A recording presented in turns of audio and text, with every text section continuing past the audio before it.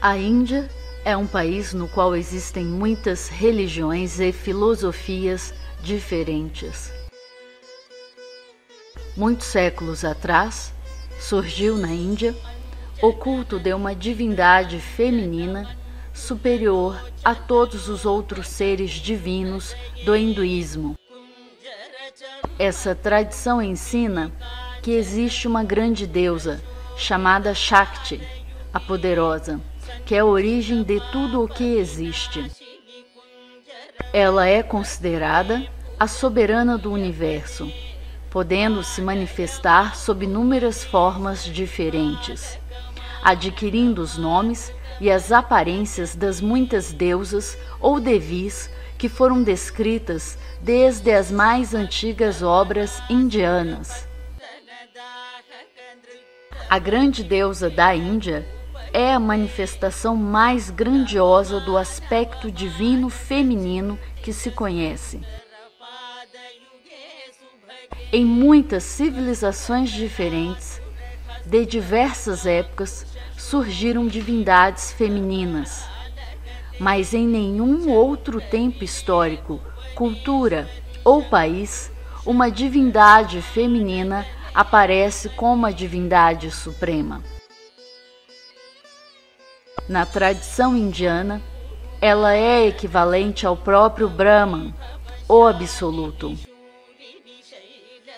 Essa corrente religiosa, chamada Shaktismo, não tem paralelo em outras regiões do mundo.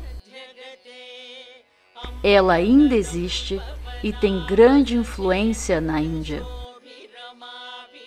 O livro A Grande Deusa na Índia descreve a história desse movimento devocional, apresentando suas raízes na antiga tradição dos Vedas e analisando suas transformações ao longo de três mil anos, até atingir sua plenitude no período medieval indiano.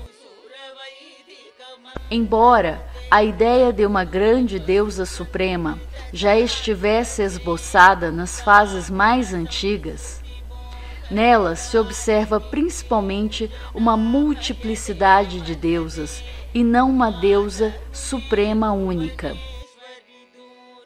No início da era cristã, surgiram as primeiras obras em que a Shakti começa a ser apresentada como o único poder fundamental do universo, como o Devi Mahatmya. Ela também teve um papel fundamental na tradição tântrica. Depois de um longo desenvolvimento, a grande deusa indiana passou a ser considerada como a divindade suprema, como a realidade última e fonte de toda a criação sendo assim apresentada na obra Devi Gita. Essa visão religiosa feminista da Índia é pouco conhecida no Brasil. Agora, pode ser apreciada em nosso país, graças à pesquisa realizada para a elaboração deste livro.